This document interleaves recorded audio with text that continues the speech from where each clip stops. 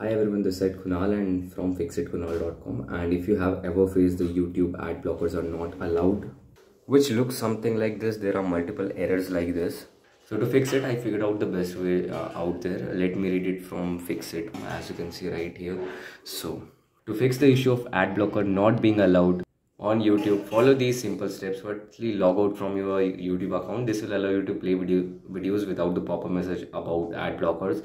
You may be presented with the three options either to allow YouTube to show you ads or to buy the YouTube premium. However, keep in mind that logging out of your account will mean that your watch history, likes, and saved video will not be accessible, which might be inconvenient for some users. Nevertheless, this is a great option for those who are looking for workaround. And even you can try out a different uh, ad blocker application.